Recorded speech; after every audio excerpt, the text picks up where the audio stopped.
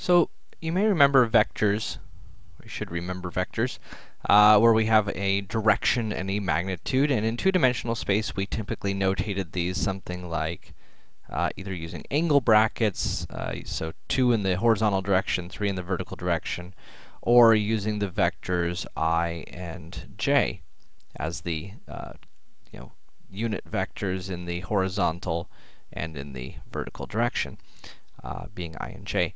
So extending this into three dimensions is really the same idea.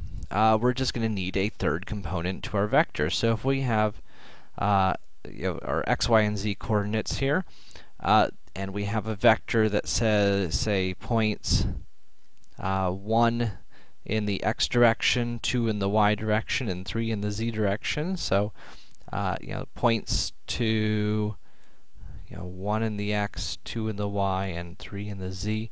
So if we have a vector that points from here to here, uh, then it's pointing 1 in the x, 2 in the y, 3 in the z, and we can use write it using angle bracket notation like this, or we can use the similar ij, ij notation, uh, adding in a third component. Oh, so let's get the right coefficients in there. So 1i, 2j, and 3 in the k direction. So we'll introduce k as the uh, unit vector in the z direction.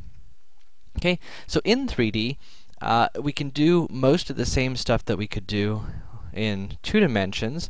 Uh, so for example, if I had the vector, uh, vector u was 1, 2, 3, and the vector v was 0, negative 1, 4, then I could go ahead and add these two vectors together, and I can do that component-wise. So I can add the x components, add the y components, add the z components to find the sum of those vectors. Likewise, I could scale a vector. If I wanted to find 2u, uh, I can simply scale each component of that vector by 2 units. If I need to find the magnitude of a vector, uh, the double bars here meaning magnitude or length of the vector.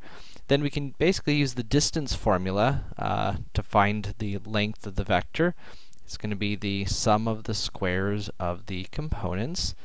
Uh, so 1 plus 4 plus 9 here, or root 14 as the magnitude of that vector. So we can go ahead and add vectors, scale vectors, find the magnitude of vectors in three-dimensional space, very similar to how we did in two-dimensional space.